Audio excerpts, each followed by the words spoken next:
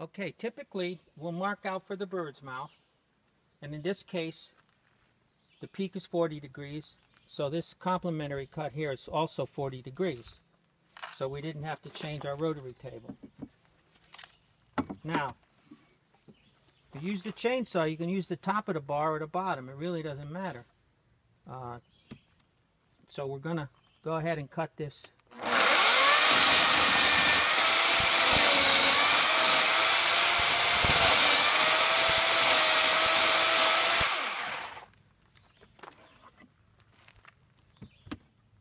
Okay, to complete our bird's mouth cut, we know that we just cut 40 degrees.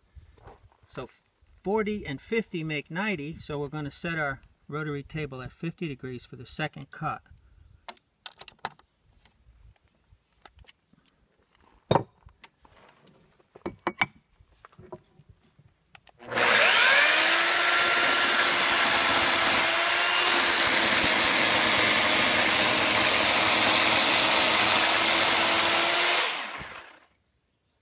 Typically, when you cut a bird's mouth with a circular saw, you'll tend to overcut or you'll stop short and you have to finish the cut by hand.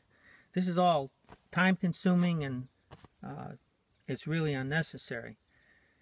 And I just want to say now that you've had a chance to see part of our system, I'm wondering what you're going to do with all the time you're going to save. I know. Put some put some ribs on the grill, kick back and have a couple cold beers. How's that?